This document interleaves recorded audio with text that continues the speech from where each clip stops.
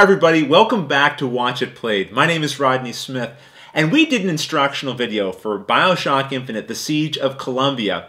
And now we're ready to start our actual playthrough. And Luke is going to be joining me in a moment because he's going to be controlling the Founders faction, and I'll be controlling the Vox Populi. And we're going to be playing to seven victory points instead of the usual 10, but that should still give you a very good sense of exactly how this game works and all of the different rules and situations that you might encounter. But I'd like to get you to the table first because I want to show you the leaders that Luke and I picked so you'll be aware of their special abilities. I have Daisy Fitzroy, which means all of my units are going to be a little cheaper to get to the table, costing one Silver Eagle less each. Zachary H. Comstock is a purist and loves removing the other faction from the board, so anytime the founders are an attacker, they'll get an additional two combat points. At the beginning of the game, a victory point card is revealed, and this is the one that we have. Here to stay, and it tells us that if you control four locations on the board that have structures, you can claim this card and it will provide you with one victory point. Okay, well, the board is set up for a two player game, so when we come back, Luke's going to join me and we're going to get started.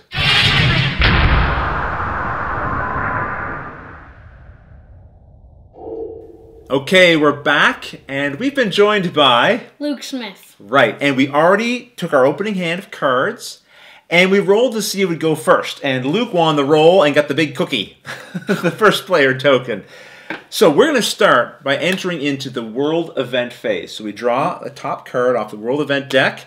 It's called Take to the Streets. Let's give you a look at what the card says. In this vote, the Vox Populi player, that's me, I'll be trying to make it happen and Luke, as the founder, will be trying to prevent it. That's because if I win the vote, I'll be able to choose a player. And Luke, which player do you think I'll choose? Me. No, I'm going to choose myself. And then I'll be able to pick a location that is not currently controlled by another player, remove any territory tokens there, and then recruit two common units for free and place them in that location. Okay, so now it's time for the vote. And Luke, you're the first player. So you have to vote first by placing the cards you want to vote with face down. Okay. How many are you using? Two. So I get to see he put two cards into the vote. I really want to win this. I'm going to play three cards face down into the vote. Hopefully this is going to be enough. And what we'll do is we'll reveal them for you guys to see what the outcome was. Boy, am I glad I spent those three cards because Luke, you'll notice, put a three and a two. That's a five and I put two, two, and two for six. I just barely won the vote. Now, sometimes Booker will get involved in these votes, won't he? Yeah. When does that happen? Only whenever somebody has more points than the other person. Right, but right now we're tied, so no one's in the yeah. lead. Booker's staying out of things. I played three cards into that vote, and so this is where it kind of hurts a little bit because I have to discard those three cards now. Luke only had to discard two. But on top of that, I played the most influence into the vote. So I get the big cookie. All right, so now I am the first player. As and we, yes. you get an upgrade. This is right. I get an upgrade. So one of the ways you can get a free upgrade is if you become the first player like I just did. So let's take a look at my player reference sheet and I'm going to pick one of these things to upgrade. I struggle with this one. I feel like I should maybe be unlocking an ability, but instead I'm going to increase the Silver Eagle value on this Rebel card We'll see if this plays out into my strategy. And of course, we need to resolve the outcome of that vote. And I'm picking Monument Island as an uncontrolled location, removing the territory token there, and then recruiting and placing two new common units from my faction. This territory only has this one location in it. So now I can claim this one victory point, and it puts me one tiny little step closer to winning. And now finally, looking at the world event card, we see no Elizabeth symbol and no aggressive Booker, which is good because he's moving to location 14, Fink MFG, and he's not going to be fighting anyone here, he's just going to be sneaking around. Well, the world event phase is finished. Time to move on to the player turns phase. I'm the first player, I get to go first, and I start with the produce step. So I can remove cards from my hand to collect the silver eagle value on them. I'm going to be playing my last two cards right now. And this might give you an idea of why I chose the upgrade I did. Let me show you what I'm playing. I had two Rebel cards. So by upgrading their Silver Eagle value by one, they're each providing me with four Silver Eagles for a total of eight. I'm rolling in riches. Oh, brother. Now, you sounded kind of perturbed there, but one thing I know it's going to make you happy is I have to remove both of these cards. yes. My hand is empty, so let's hope I don't have to get into any fights this turn. But now I can move on to the build recruit step. Let's go back to the board and I'm going to show you how I want to spend my money. Now, a special would normally cost four silver eagles, but because of my leader's special ability, it reduces the cost by one for units that I recruit. So instead, it's only going to cost me three silver eagles, and then I'm going to spend an additional three silver eagles to place another special unit in there as well. I really want to hold this position, and I'm a little bit concerned that Luke may want to come in there and attack. Okay, now on to the move step. I'm going to move these two leaders here. I'm going to try to defeat this territory token. I don't feel like there's any threats from the north here, and this is where Luke is probably going to come over if anywhere. So this is where I need to shore up, I think, some defense. But I'd also like to take another territory token as well. So I'm going to move the special into this location, and and a common as well, knowing that I also have a turret here in an adjacent location to help back things up. But now it's time to resolve that combat, and I think I'm going to start here at this topmost position. And look at this location's name, Luke. ZH Comstock Victory Square. I'm Hey. moving into your house. so first of all, we flip over this territory token, and what a relief. This is a low combat value, really. Seven here, but if I defeat it, I'm going to get four silver eagles. So into this fight, I'm going to be adding a blue die for the special, a white die for the common unit, and another blue die because of this adjacent turret, which I'll roll up right now. And as long as I get higher than seven, which I clearly did, I defeat this territory token. It gets removed from the board and I will collect those additional four silver eagles. And I also want a combat, so that means I'm going to be able to take another free upgrade. And I'm going to unlock the Red Hood's special ability. I know you don't know what that is yet, but you'll get to see it a little bit later. Now, something I should mention, if you end your movement on different locations that have territory tokens, they should all get flipped over at once. And this can be very helpful because then, depending on the cards you have in your hand, you may choose to resolve one before the other. In this case, I didn't have any cards, so it made less of a difference. But still, that's important to take note of. And I have to now face a 9 combat value. Thankfully, I have two leaders, which means I'm going to be rolling two red dice, and I need to have a total... Uh, that's not nine. That is Yes. six. Uh, Luke, would you accept that maybe now I beat them? No. okay. Well, this is bad. I mean, this is really bad, guys, because now I have to destroy one of the units that participate in the combat. So I'm going to remove this leader. And then all of the other units have to retreat to one of my locations that have a stronghold structure. So I'm going to place the airship back over here in Fink MFG. This token will stay revealed, so now both Luke or I know what we're getting into if we head into that location. Okay, I felt like that was a pretty successful round for me, except for that end there. But Luke, now it's your player turns phase. First, we have produce. Produce. Right. What would you like? Is there any cards you'd like to trade in for their silver Yep. eagle value? What would you like to trade in? I'm going to use the shotgunner. And what does that give you? Three silver eagles. Okay, so let me give you three silver eagles. Now you can recruit or build. Would you like to do that? No. Okay, you're going to save your moolah. Yeah. What now? Time to move. Do you have some units you want to move? Oh yeah. All right, let's get you to the table and we'll see what Luke's going to do. I think I have a pretty decent plan. well, let's see what it is. What are you going to be moving? I'm going to be using my special unit Yes. here, Okay. Is and then That it? nope, Okay. and then I'm going to use my songbird to move into here, Yes. and a leader, Okay. and for safety, a common unit. Now, why do you say for safety? because last time you failed Yes. big time and you lost a leader. Okay, so Luke is thinking ahead here. If he fails in this combat, like I failed in my combat, he can toss out the common instead of a leader. That's good. But Luke, you're only throwing one special over here. But I have this. You do okay. You do have the turret, which is going to add another blue die. That's true.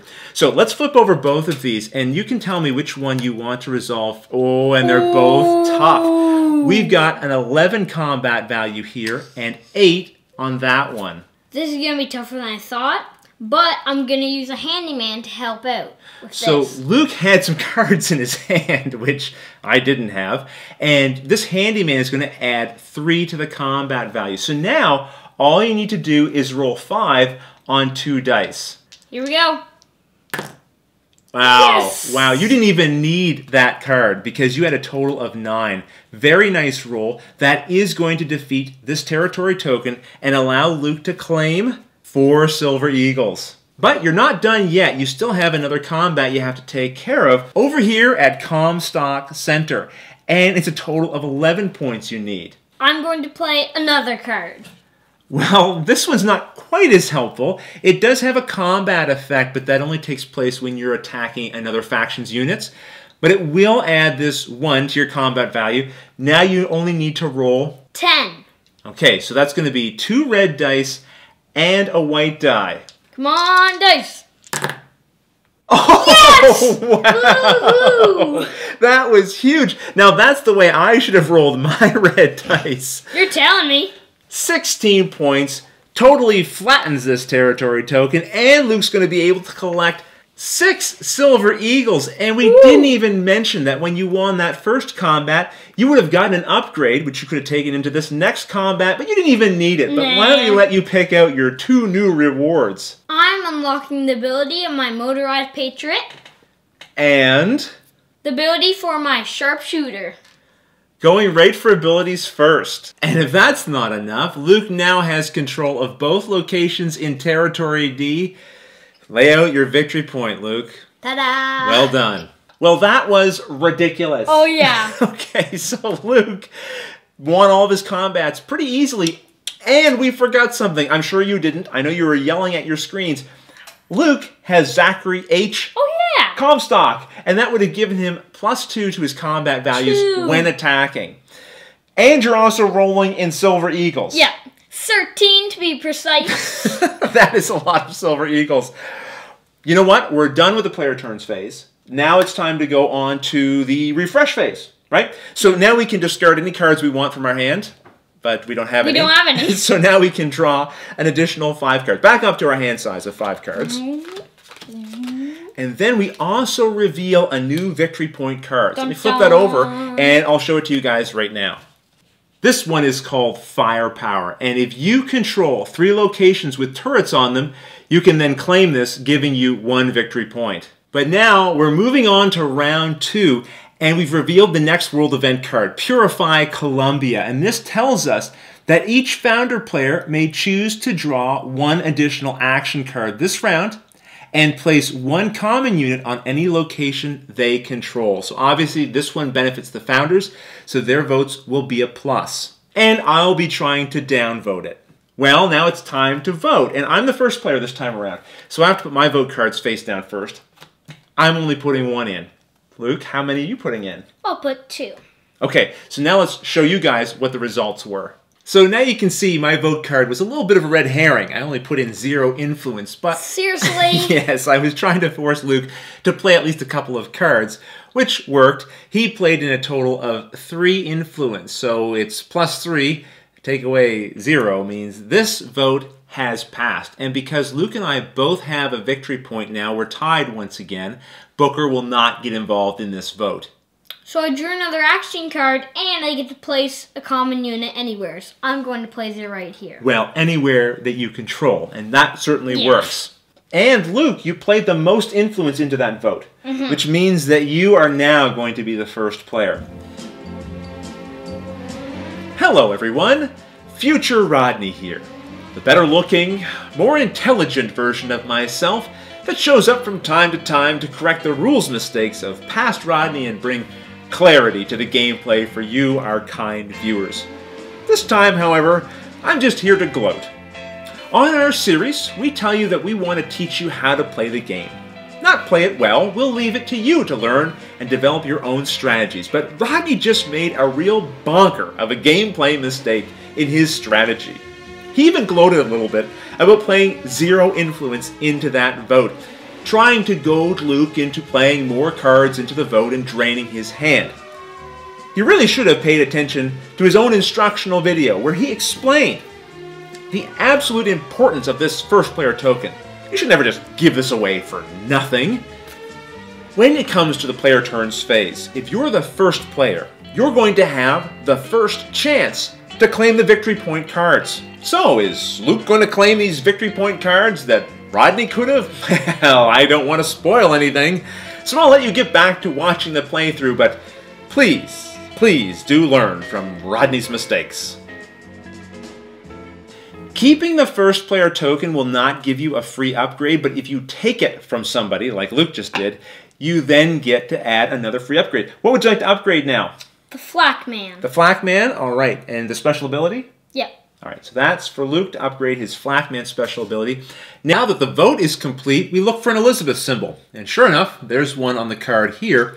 So we're going to advance the Elizabeth marker on the Elizabeth timeline and then read and resolve this effect. So now we get a little more insight into the goings on at the city of Columbia because Booker has rescued Elizabeth from imprisonment, and now for the rest of the game, when he's in the same location as Elizabeth and she is not under the control of another player, he will receive an additional white die when he is the attacker.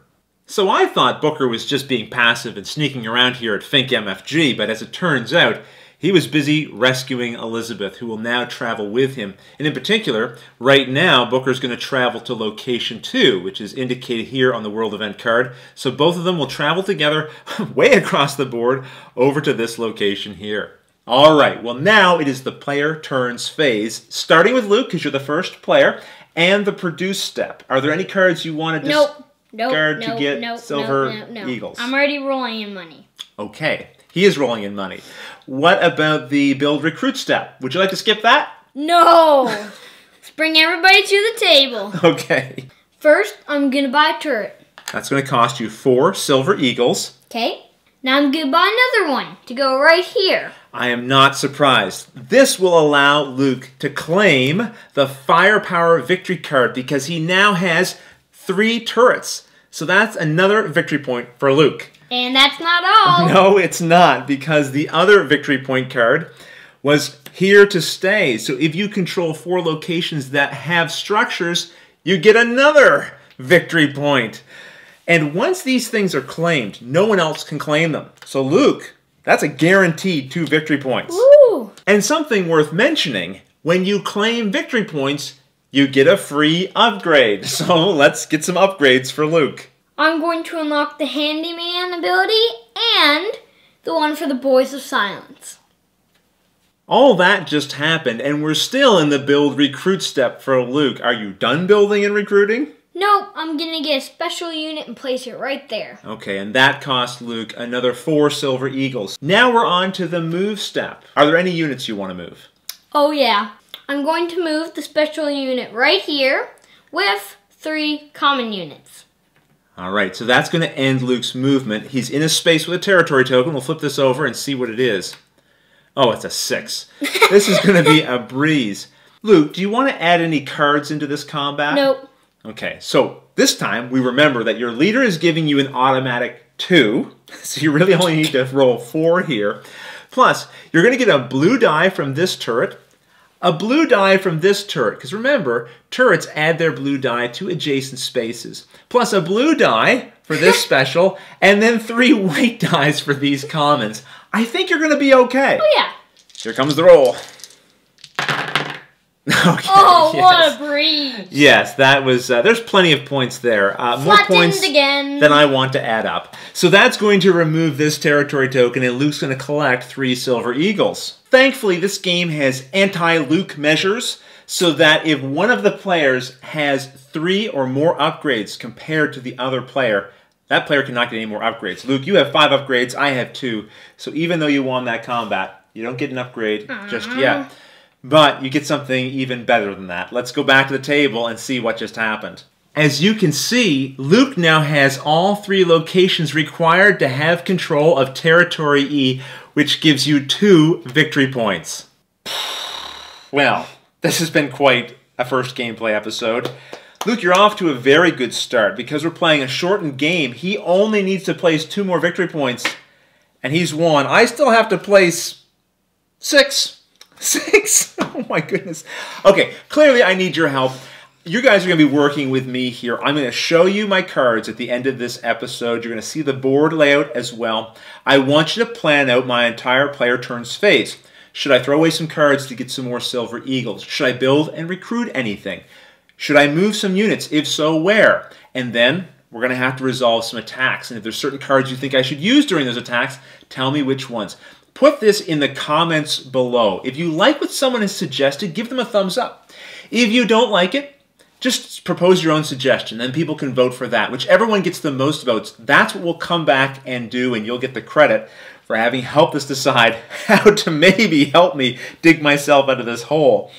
But if you have any questions, of course, don't forget, you can put them in the comments below and I'll answer them as soon as possible. As well, over on our Facebook page, I'm going to have some still images of the board and my cards that you can just sort of watch at your own leisure as well, so you don't have to just pause the video to follow along. Listen, guys, until the next episode, thanks, thanks for, watching.